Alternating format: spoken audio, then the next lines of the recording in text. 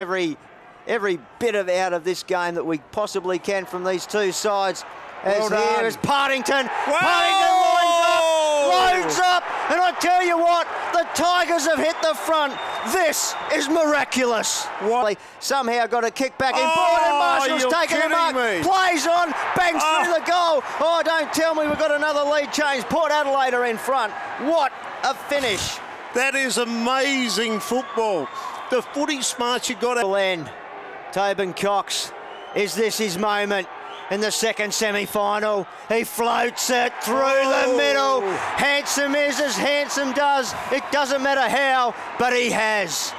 Cox has got the goal. Reynolds, if ever the Tigers needed a goal. Season on the line here for a grand final. He's unloaded. He's got it. Reynolds has fired a Oh. shot. They're still in it, Glenelg. They're still in it. Hayes back there's proud. He's got to find back. his feet though. Curran's just going to take it across the line. A point doesn't matter in the contest because it gives the Tigers possession. And going forward with a big barrel, they send it forward, but it's taken here by Farrell on the end of the barrel. And he's going to go back and he's signalled on going for goal. Wow. There's the siren.